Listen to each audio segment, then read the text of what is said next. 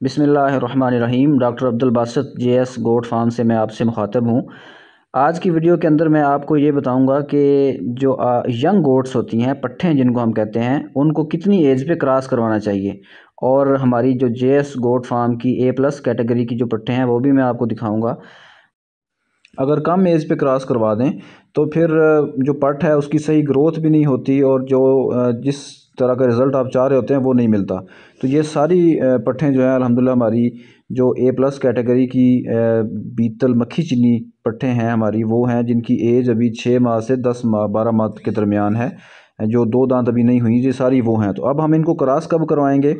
Cross हम तब करवाएँगे जब इनकी एज जो है वो चार दांत हो जाएगी। यानी कि ये चार दांत जो है ना ये अपने निकाल लेंगी तो उसके बाद इनको क्रॉस करवाया जाएगा।